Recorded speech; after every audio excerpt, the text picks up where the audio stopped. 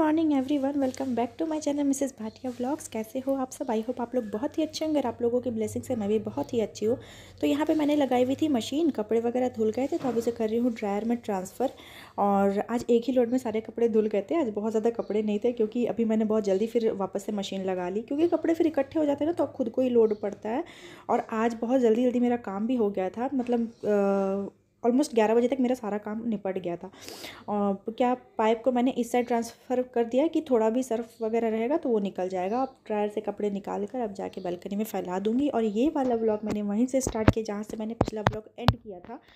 तो अगर आपने पिछला व्लॉग नहीं देखा है तो प्लीज़ जाके ज़रूर से देख लेना, बहुत ही इंटरेस्टिंग व्लॉग है। और हाथ मेरे कितने स्पीड से चल रहे हैं ना, ऐसा कुछ भी नहीं है वीडियो को फास्ट फॉरवर्ड दे दिया क्योंकि व्लॉग फिर बहुत ज़्यादा लंबा हो जाता है। तो बस अब बाल्टी में डाल लिया और दो बार मैं करके सारे कपड़ों को ले जाऊँगी, बालकनी में डाल दूँगी। तो आप देख सकते हो, अभी शायद साढ़े दस बजे का टाइम हो रहा होगा मॉर्निंग और धूप कितनी अच्छी खासी है। तो इतने देर तक ना आज मेरा सारा काम निपट गया था तो किसी किसी दिन जल्दी काम हो जाता है तो बहुत ही ज़्यादा अच्छा लगता है। और धूप भी बहुत अच्छी खासी थी तो कपड़े भी फटाफट से सूख गए थे और मोटे मोटे कपड़ों को मैंने इधर रेलिंग पे डाल दिया ताकि, क्योंकि सीधी धूप आती है और पतले पतले कपड़ों को मैंने रस्सियों में डाल दिया है। बस इसी तरीके से अपना काम भी होता जाता है और अपना व्लॉग भी बनता जाता है। तो मैंने इस साइड ना, जहाँ पे कैमरा सेट किया, वहाँ पे मैंने वो कपड़े वाली चिमटी रखी हुई इसलिए बार बार मैं इधर आती हूँ, फिर उधर जाती हूँ। तो एक एक कपड़ों में एक एक चिमटी लगानी पड़ती है, क्योंकि हवा भी इतनी तेज़ चलती है ना, बहुत बार तो मेरे कपड़े उधर चिमटी लगाने के बावजूद बैलकनी से नीचे गिर गए हैं। तो अब आ गई हूँ बेडशीट वगैरह को फैलाने के लिए। तो आज बेडशीट वगैरह भी मैंने चेंज करी हुई थी तो इसलिए मैंने साथ ही साथ धो भी दी और हवा देखो कितनी तेज़ है कि अगर मतलब गलती ना करो, चिमटी लगा करना तो कपड़े सीधे नीचे जाएँगे। बहुत तेज़ हवा थी और रस्सियों की वजह से मुझे काफ़ी हेल्प हो जाती है मतलब रेलिंग पे। नहीं तो इतना भर भर के रेलिंग पे डालना होता था और बार बार पलटना पड़ता था। तो कुछ इस तरीके से बैल्कनी हो गई है मेरी फुल। अब जाऊँगी अपना नाश्ता करने के लिए, क्योंकि नाश्ता भी किया नहीं था मैंने। मैं चलिए फटाफट से अपना बनाना शेक पीने के लिए, क्योंकि दूध थोड़ा सा गर्म था, इसलिए मैंने बना कर ना फ्रिज में रख दिया था कि थोड़ी देर ठंडा हो जाएगा। हाँ अब ठंडा हो गया है। तो तुरंत ही दूध गर्म किया था मैंने, इसी वजह से। अब सही है, अब पी लेती हूँ और अपना काम वाम निपट भी गया और अब आराम से बैठ कर करूँगी अपना नाश्ता। तो ये रहा भाई आज का मेरा नाश्ता। मुझे लंच भी बनाना है तो देखती हूँ आज लंच में क्या बनता है। आज भी पालक पालक ही रखा हुआ है फ्रिज में तो देखती हूँ आज क्या बनाते हो। तो अब आ गई हूँ यहाँ पे लंच बनाने के लिए। यहाँ पे दाल पालक को मैंने बॉईल कर लिया है और यहाँ पे बना रही हूँ आलू का चोखा। तो दाल में ही मैंने आलू को डाल दिया था और इधर साइड में मैं मूंगफली को रोस्ट कर रही हूँ इसकी चटनी बनाने के लिए। तो इसे तवे पे भून लेंगे अच्छे से और यहाँ पे आलू का चोखा मेरा बन के हो गया था रेडी मैं हमेशा इसी तरीके से फ्राई करके बनाती हूँ। कभी कभी मैश करके बनाती हूँ, वो भी बहुत अच्छी लगती है। और गैस को बंद नहीं किया अब उसी में मैंने फिर ऑयल डाला और हींग जीरे का तड़का देकर प्याज डाल दिया। दाल पालक बनाने लगी हूँ और आज मैंने चने की दाल में पालक को ऐड किया है। ऐसे मैंने मसर की दाल वगैरह में बनाती हूँ, मूँग की दाल में बनाती हूँ तो आज मैंने चने की दाल में बनाई है, वो भी बहुत ज़्यादा यमी बनी थी।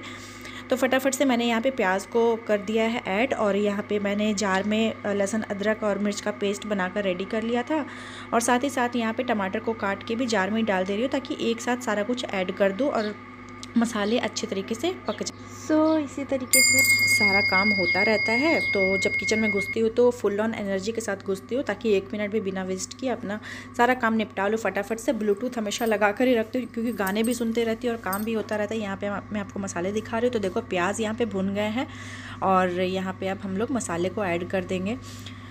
तो बस इसे भूनेंगे अच्छे तरीके से और यहाँ पे आप सूखे सूखे मसाले ऐड कर देंगे। वही धनिया पाउडर किचन किंग लाल मिर्च पाउडर और थोड़ा सा मैंने पानी भी जार में डाल के ऐड कर दिया था तो इसलिए ऐसा दिख रहा है। भून जाए और आज मैंने वो बड़ी वाली कढ़ाई नहीं निकाली थी क्योंकि बहुत ज़्यादा उसको फिर एक धोने का अलग टेंशन हो जाता है ये उससे साइज़ में एक साइज़ बस छोटी है तो इसे मुझे धोने में ईजी पड़ता है।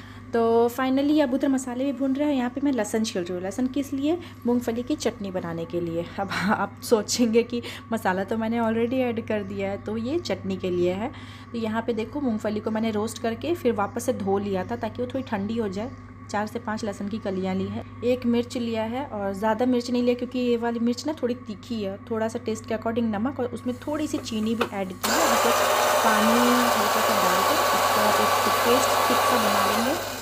तो ये एक बार में नहीं होता है, फिर इसमें मैं थोड़ा सा पानी और ऐड करती हूँ, उसके बाद फिर से वापस से चलाती हूँ ताकि पूरी बारीक तरीके से पिस जाए बहुत अच्छी तरीके से तो जी, अब यहाँ पे बहुत अच्छे तरीके से मुझे लगा कि हो गया था, लेकिन नहीं हुआ तीन बार मैंने चलाया मिक्सर मेरा तो हाल ही में ख़राब हुआ था, इसलिए मैं थोड़ा रुक रुक कर ही चला रही थी कंटिन्यू नहीं चलाना चाहिए वैसे भी।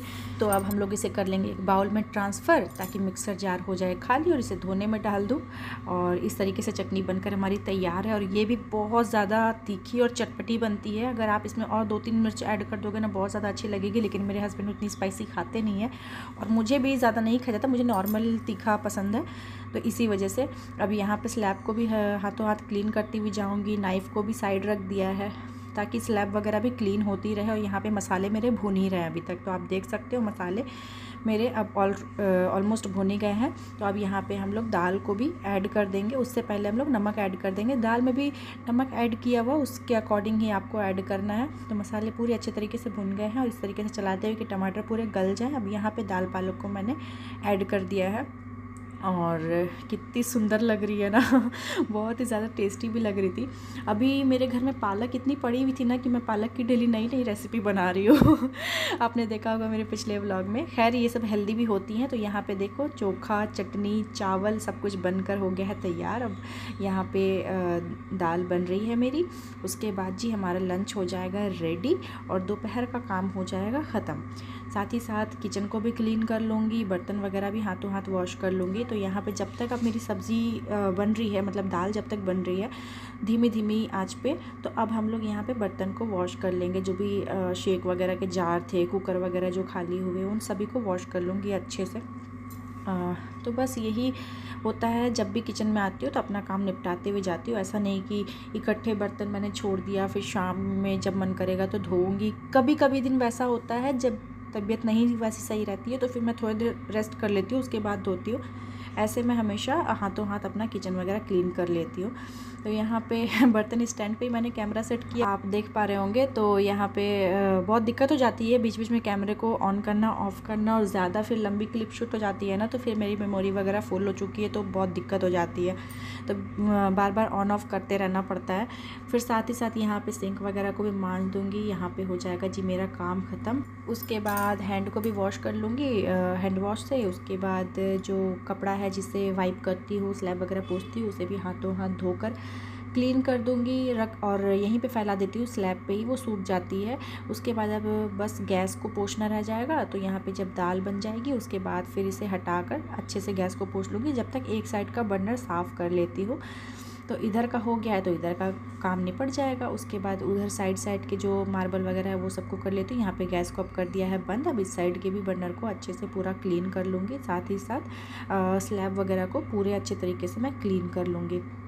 और यहाँ पे विंडो को भी अब बंद कर दिया है क्योंकि हवा इतनी ज़्यादा तेज़ चल रही है ना, अपने आप खुलती है, बंद होती है फिर इसीलिए। और दोपहर में फिर मैं सो जाती हूँ तो वो ना खुलती रहेगी, पटकाती रहेगी खुद खुद से, इसीलिए फिर मैंने बंद कर दिया। अब यहाँ पे स्लैब को मैंने पूरे तरीके से कर दिया है क्लीन और हो गया है मेरा काम, आज का ख़त्म। तो बज गए हैं दोपहर के डेढ़।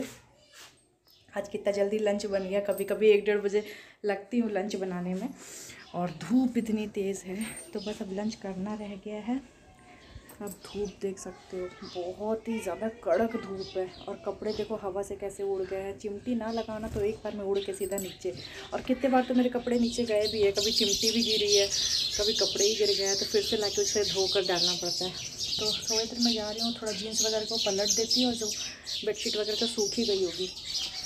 तो इन सबको हटा देती हूँ, इतनी तेज़ धूप में कपड़े क्या इंसान सूख जाए।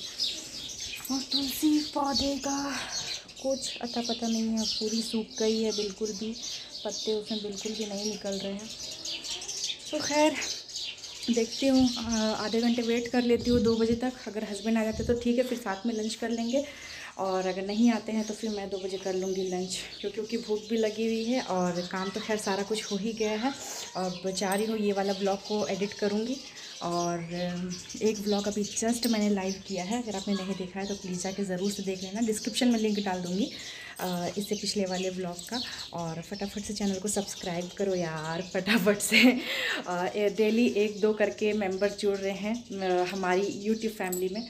मैं चाहती हूँ जल्दी से वन के हो जाए। और बस जितनी जल्दी जल्दी सब्सक्राइब करोगे उतने ही ज़्यादा व्लॉग्स आएँगे उतने ही ज़्यादा एक्टिव रहूँगी मैं और डेली अपडेट आपको देखने को मिलेगा। तो चलो अब ज़्यादा बातें नहीं करती हूँ फिर व्लॉग मेरा लंबा हो जाता है देखते हैं ये व्लॉग कहाँ तक जाता है। तो बने रहो आप मेरे व्लॉग में। सो so, यहाँ पे कपड़े सूख ही गए थे तो मैंने सोचा कि चलो हाथों हाथ इसे भी हटा देती हूँ। पता चला ज़्यादा हवा की वजह से चिमटी समेत ही उधर चली गई तो फिर मैंने कपड़ों को एक साथ ही हटा लिया और सारे ऑलमोस्ट सूख ही गए थे।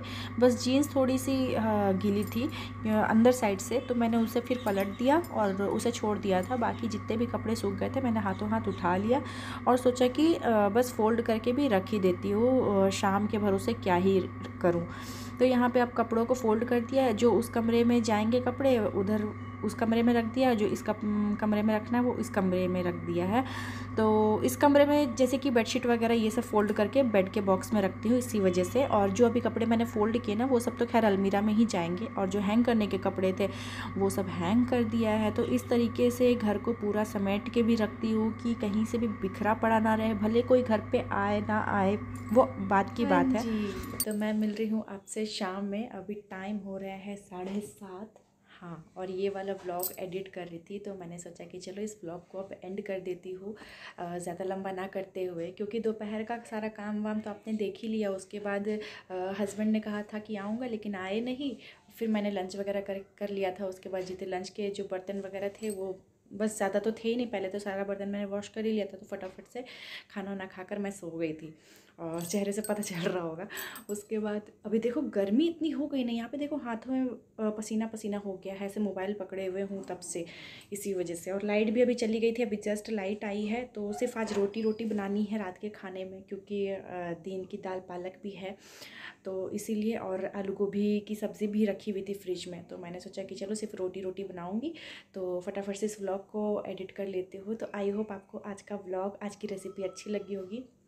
थोड़ी सी भी अच्छी लगी होगी तो प्लीज़ चैनल को सब्सक्राइब करना वीडियो को लाइक करना कमेंट के थ्रू ज़रूर बताना आपको आज का ब्लॉग कैसा लगा। और फटाफट से सब्सक्राइब कर लो। अगर आप फ़र्स्ट टाइम देख रहे हो तो चैनल को बिना सब्सक्राइब किए मत जाइएगा। और साथ ही साथ नोटिफिकेशन बेल को भी ज़रूर प्रेस कीजिएगा ताकि जब भी वीडियो डालूँ, सबसे पहले आप देखो, अपना प्यार दो, अपना ओपिनियन दो।